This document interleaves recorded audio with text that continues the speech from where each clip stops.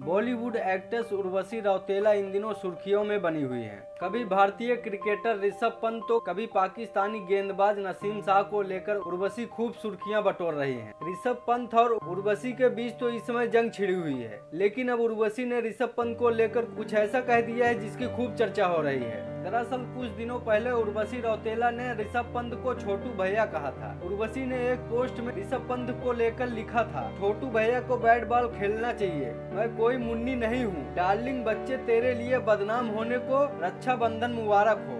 उर्वशी की ये पोस्ट देखते ही देखते वायरल हो गई थी।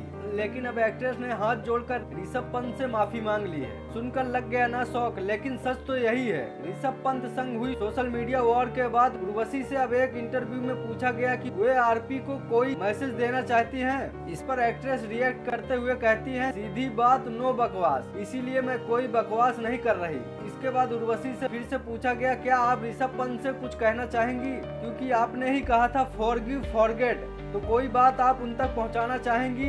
इस पर उर्वशी पहले तो कहती है, मैं कुछ नहीं कहना चाहती। लेकिन फिर वो हाथ जोड़कर ऋषभ पंत से माफ़ी मांगती है। उर्वशी कहती है आई एम सॉरी फ़िलहाल इस बारे में आपका क्या कहना है? हमें कमेंट से बताओ वीडियो को लाइक करें और सब्सक्राइब करें हमारे फ्राइडे फ़िल्म को।